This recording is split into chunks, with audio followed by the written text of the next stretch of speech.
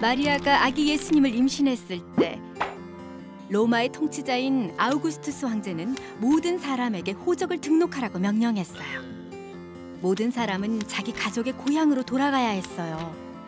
다윗왕의 후손이었던 요셉은 마리아와 함께 나사렛의 집을 떠나 다윗의 동네인 베들레헴으로 향했어요. 베들레헴에 머무는 동안 마리아가 아기를 낳을 때가 다가왔어요.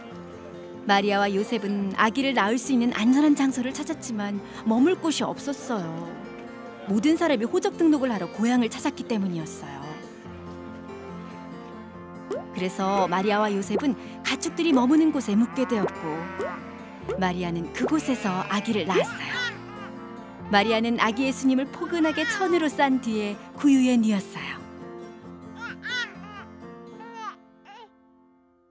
한편 근처 들판에는 목자들이 도둑이나 짐승들로부터 양떼를 지키고 있었어요. 그때 하나님의 천사가 목자들에게 나타났어요. 그들에게 아주 밝은 빛이 비추었죠. 목자들은 겁이 났어요.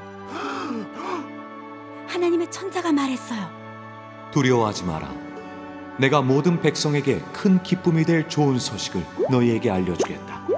오늘 구주이신 주 그리스도가 다윗의 동네에서 태어나셨다. 천사가 말했어요. 너희는 천에서여 구유에 누워 있는 아기를 볼 것이다. 왕이 구유에 누워 있다고요? 거기는 왕이 있을 곳이 아닌데요.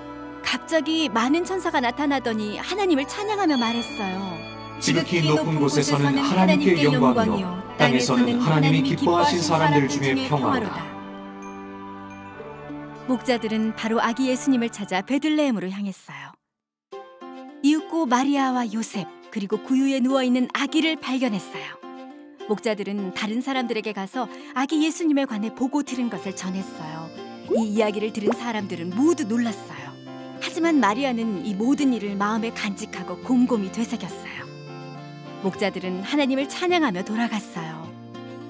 천사가 그들에게 말한 모든 일들이 이루어졌기 때문이에요. 아기 예수님의 탄생은 기쁜 소식이었어요. 예수님은 평범한 아기가 아니었어요. 예수님은 하늘에서 이 땅으로 보내신 하나님의 아들이셨어요. 예수님은 사람들을 죄로부터 구원하시고 그들의 왕이 되기 위해 이 땅에 오셨어요.